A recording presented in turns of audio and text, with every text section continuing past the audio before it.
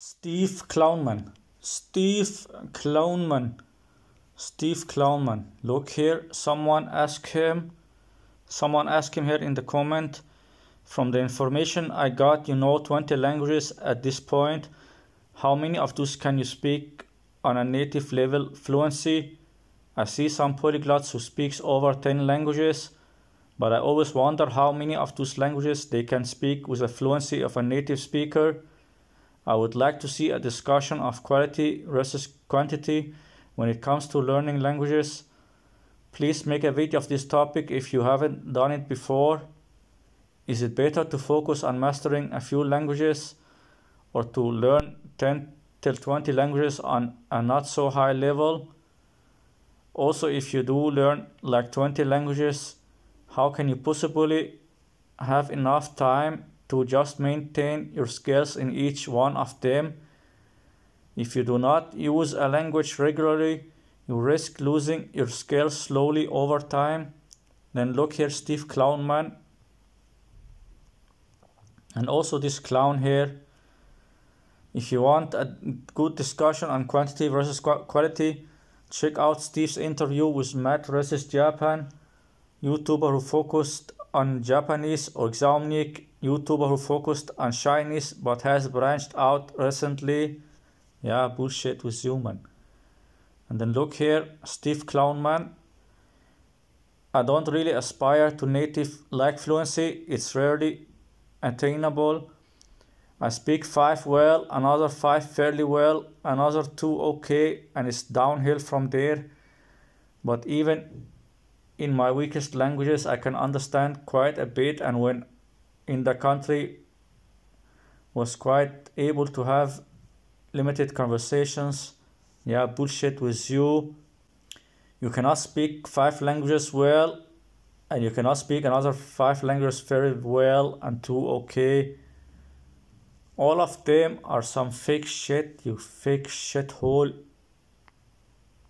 You can only speak one language, English, you fake scammer shit. You can only speak one language, English, you fake scammer shithole man.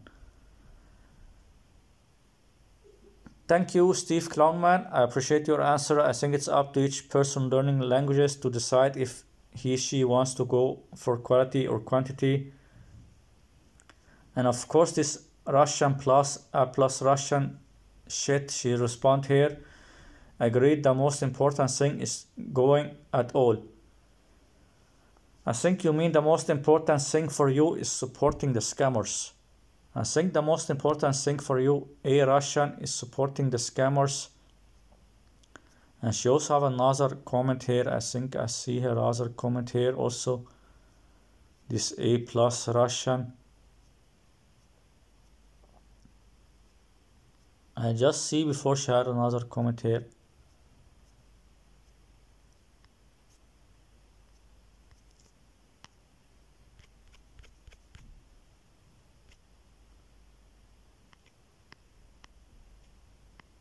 Here this one. Thank you for sharing steve and for offering ukrainian for free on LingQ your experience with slavic languages is fascinating. She really likes supporting the scammer this scammer supporter. She really likes supporting the scammers the scammer supporter. And this clown he cannot speak 20 languages. And look he respond this guy here then he just use google translate this fucking clown this Steve Clownman, he just used Google Translate to respond this fake asshole. This fake shithole.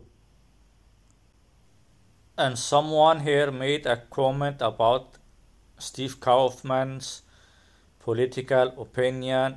I did not really watch the video.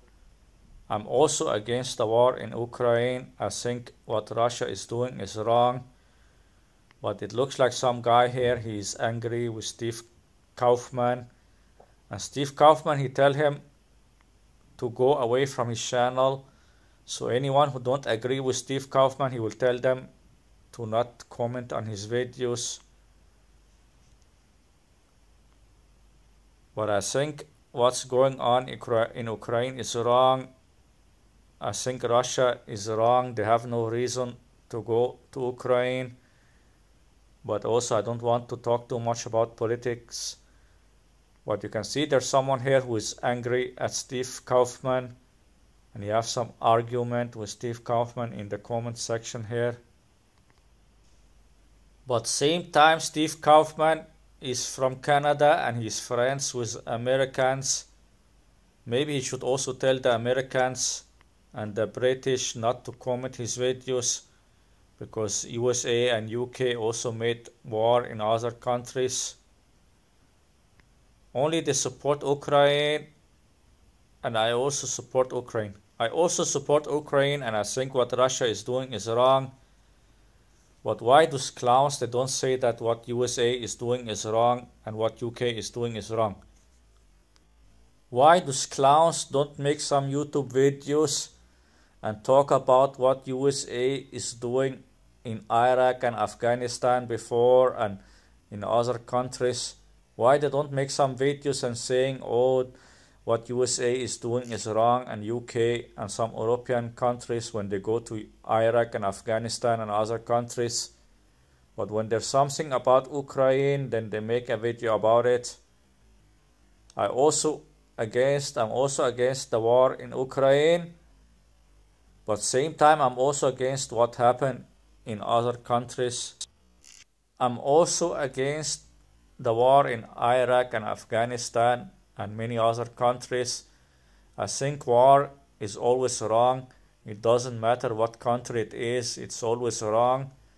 But of course, those clowns from Canada or USA or Europe, for them it's only wrong when it's against an European country, but when it's against Iraq or, or Afghanistan or some countries they don't like, then they don't care about it and they don't talk about it.